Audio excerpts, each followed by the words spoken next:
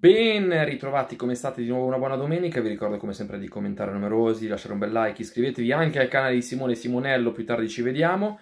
Allora ragazzi, aggiornamento per quanto riguarda il mercato, non ci sono nuove ufficialità, siamo fermi a due colpi, due operazioni, cioè Morate Pavlovic e nuove conferme, lo vuole a tutti i costi Fonseca e Milan vuole eh, Abram e continua a lavorare in questa direzione con la Roma. Richiesta esplicita di Fonseca, garantisce Fonseca, io noto attorno al giocatore della Roma tanto scetticismo, tante perplessità, tanto pessimismo sulla possibilità che possa fare bene al Milan. Dall'altra parte Fonseca vede l'uomo giusto da alternare ad Alvaro Morate, quindi forse bisogna fidarsi, sì, dopodiché secondo me è sbagliato andare a fare magari dei sacrifici dolorosi per Ebram, che non mi fa impazzire, poi è vero che si dice sempre bisogna dare fiducia al tecnico, il tecnico vuole questo, non quell'altro, fidiamoci.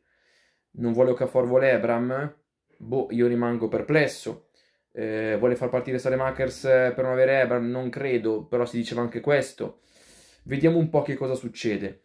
Eh, Ebram, secondo me, eh, paga due cose. L'infortunio, a livello anche di considerazione, l'infortunio e i problemi che ha avuto dopo e poi il fatto che negli ultimi anni non abbia segnato tantissimo e che abbia sbagliato anche gol facili in maniera ecco, piuttosto imbarazzante. Primo anno però, lo ricordo, ha fatto 17 gol in Serie A il suo primo anno quando era ancora più giovane.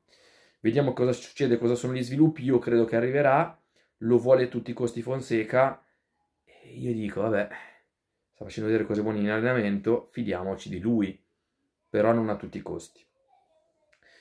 Eh, a breve chiuderemo anche il sondaggio sulla community di Milanello in cui vi chiedo cedereste Okafor per arrivare a Ebram. Mi sembra che ci sia abbastanza un plebiscito, però potete ancora votare. Nel frattempo, ragazzi, ricordo che mancano 13 giorni all'inizio del nostro campionato e il mercato non può essere ritenuto soddisfacente. Commentate, lasciate un like, iscrivetevi e grazie per l'attenzione. Un saluto.